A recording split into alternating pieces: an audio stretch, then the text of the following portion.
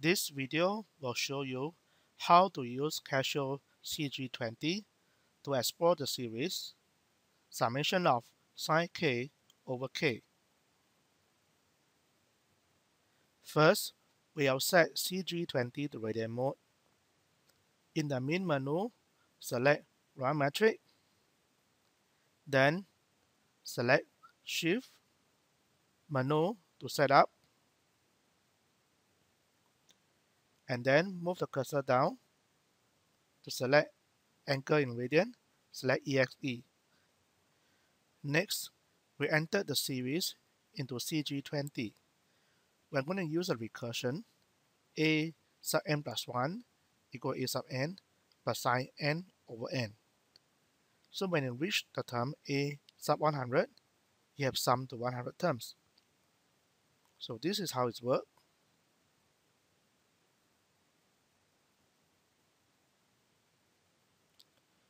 From the main menu, select recursion. Then select the type of recursion in F3. Then we're going to select A sub n from F2 and plus sine of open bracket n which is in F1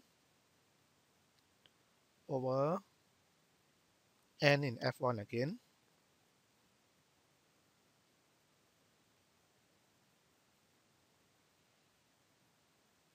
Then move to the right. And we're going to define by select F5 to set starting from n equal to 1 to n equal to 100 and a sub 1 is going to be sine of 1 over 1.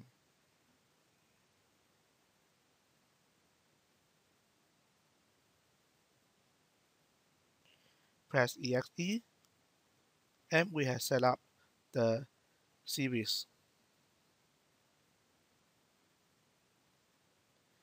Next, we are going to create a table to show the A sub n. So when you show A sub 100, you actually show the sum of the 100 terms. After we created the series, we go to F6 for table, and then you can see the first 10 term. Move the cursor down, you can see the later terms.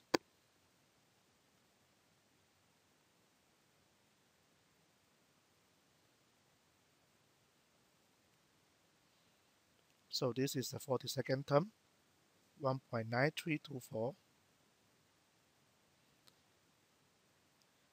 In order to view the graph of the series, you need to set up the view window for calculator.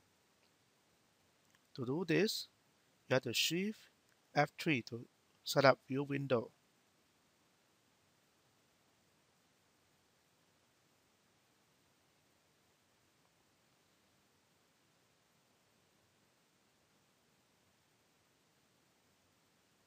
So shift,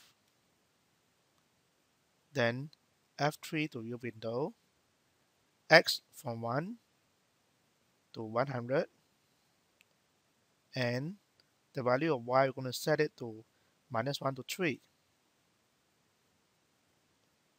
Then we press exit the view window F6 for table, F6 again for graph. Then you see that it appears that the series converging. Can you prove it?